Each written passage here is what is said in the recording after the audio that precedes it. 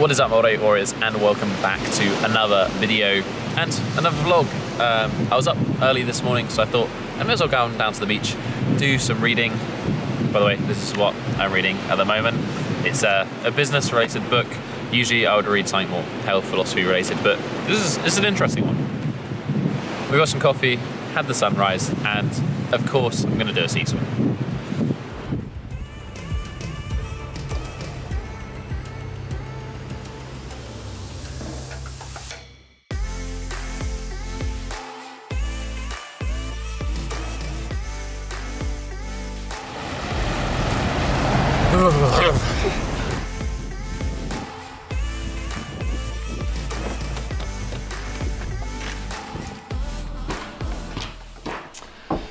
Definitely not how uh, I start every day as much as I would like it to be, but uh, I try to swim at least once a week kind of throughout the year, so even in winter, in the sea, just for that cold exposure, that goodness. Uh, it's just a nice challenge.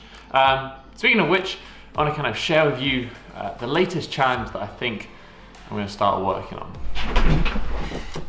Now, if you've been following me for a while, following the training that I've been doing, you'll know that I'm kind of obsessed with handstands. I've been doing a lot of handstands lately and things have been going well. I've got the one arm handstands certainly becoming more consistent. However, it has been a very grindy two and a half years and now it has become somewhat consistent. I'm kind of itching to work on some new goals. It's not that I'm done with handstands. I still love doing them. I still love training. I'm still going to be committing a lot of time to them. It's just that sometimes it's useful to have something a little bit fresh to focus on laying out a plan, thinking about new things to work towards. It's exciting in its own right, so I'm looking forward to kind of laying down that path, almost starting from the beginning in some aspects again, and working up to it. And that is just actually building more strength in some lower body weighted lifts. So if you'd have watched that 500k eight year transformation special, you'd have seen that I started like my training journey with, you know, probably as a lot of people have, um, that bodybuilding, powerlifting, weightlifting background. And I did enjoy lifting weights and building strength there. And I made some okay progress. I had, you know, a 200 kg deadlift and other things. But when I moved to bodyweight training, I kind of just left that behind. It wasn't my focus anymore. I was more interested in building flexibility, although I did still train weight training for the legs in some form or another. It was usually a lot lighter and it wasn't particularly focused or consistent. So, you know, as far as I'm concerned, I'm basically starting from zero again, which although a little bit depressing, is also very exciting.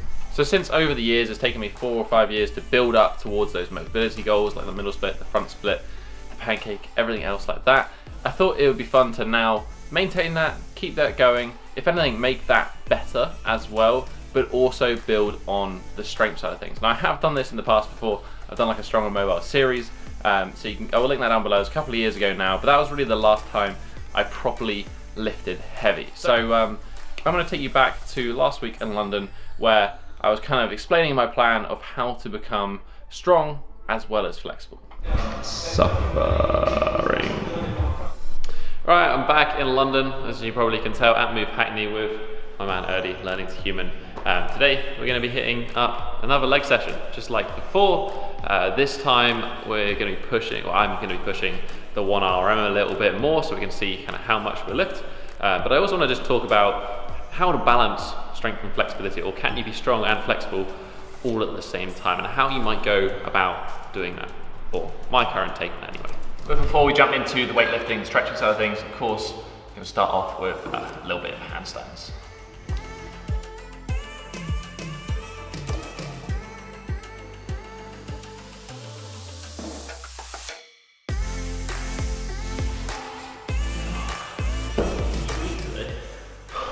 So uh, the main reason I wanted to show some handstands is that usually I would do stretching during my handstand session. So I do some straddle, some pancake, things to help with flexibility for doing handstands. But because I'm doing it for lower body training, I don't do any stretching. The issue with doing passive stretching, especially pre-training, can inhibit that force production. You're kind of getting a bit of a neurological shutdown towards those muscles you're stretching. So we don't want that. Some dynamic stretching though is fine, like if you need to develop range of motion or you need to increase your range of motion a little bit before the session, you know, if you're tight ankles, tight hips, and releasing that, opening that up, helps you get deeper into your squat or a better position. so that you can generate more force.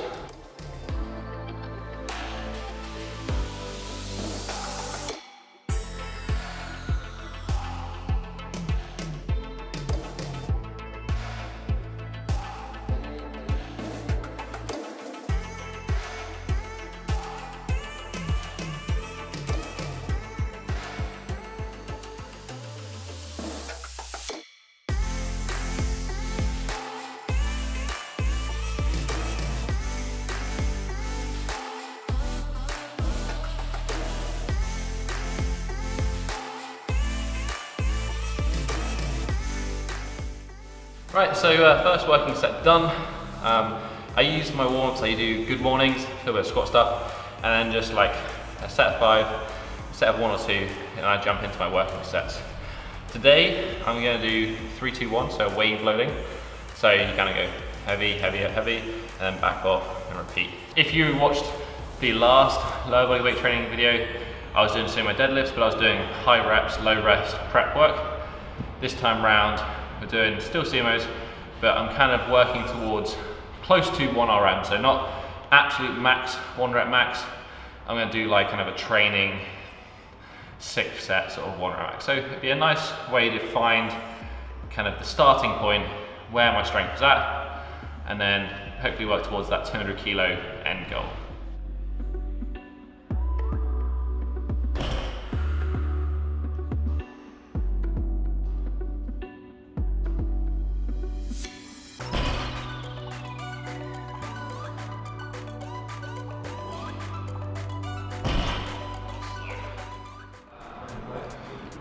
First set of one, 165. Uh, that's like three, two, one. So adding weight on each one. Now I'm gonna go back and then try and do more than I did for the first repeat of the same rep. So considering I haven't really lifted anything heavy apart from the last phase in like two years, it's, it's, it's not too bad.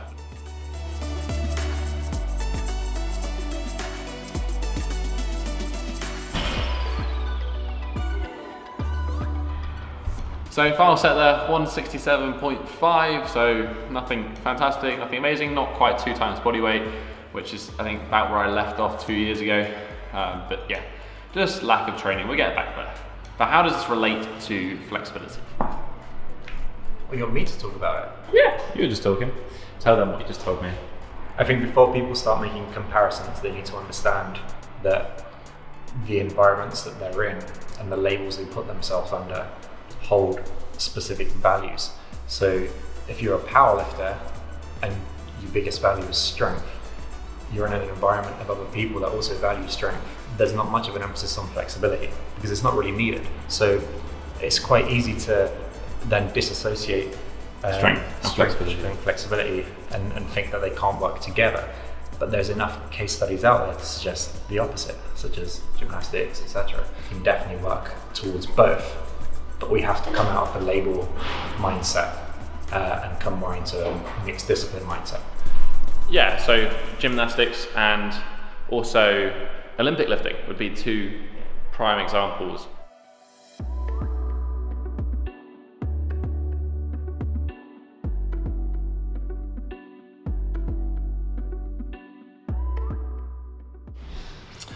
So when it comes to exercise selection for strength and flexibility, obviously we know people have different values. They want to train different things.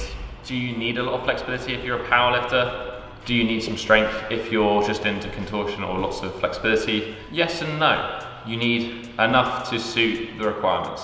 But there is a middle ground to be had if you want the best of both worlds. The first two drills I've done, sumos, Nordics, very strength biased, minimal amount of flexibility, arguably is some in sumos, but pretty minimal. However, next drill, there's gonna be some flexibility component.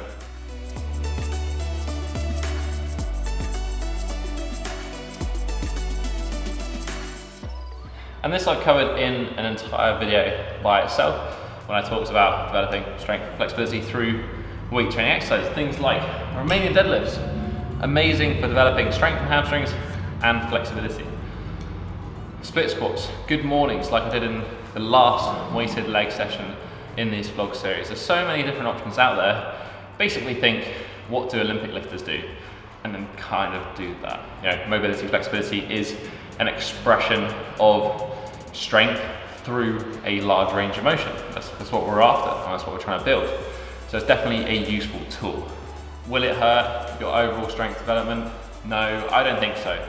Ultimately, you produce less force towards the end of your range of motion. So if you have a slightly greater range of motion than you need, say for example squatting, if you can go a little bit lower and it's not your absolute max in terms of range of motion, you're probably going to be able to apply more force.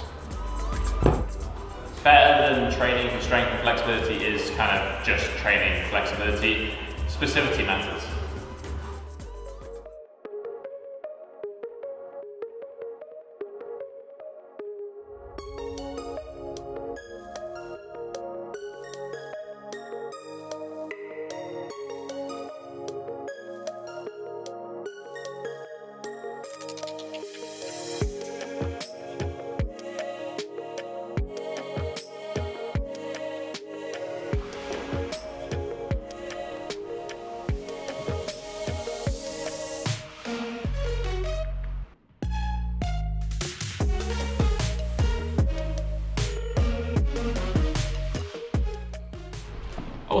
I think uh, flexibility can just be an addition to your training. It doesn't need to be part of your main session. You can just do it as this modular add-on at the end, which is kind of what I prescribe in various videos that I've done on this topic.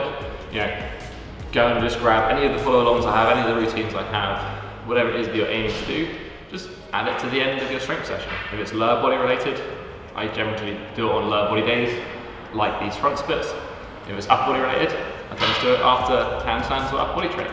Just nice and simple, combining the two, but without having that compromise with strength and flexibility. So uh, that is basically the plan for the moment. Some side goals, some other things to focus on, as well as keeping the main stuff ticking over all of those handstands, that flexibility, all of the good stuff. Uh, let me know what you are up to. What are your current lower limb goals? Are they flexibility based? Are they strength based? Are you trying to do a bit of everything? Do you lift weights? Do you do calisthenics? Let me know in the comment section down below. If you just enjoyed this video, you can always hit that thumbs up button and support the channel. Right next to it is that subscribe button so want to join the Bodyweight Warrior tribe. And finally, if you want to support me, support the work I'm doing here on YouTube, click the link to Patreon.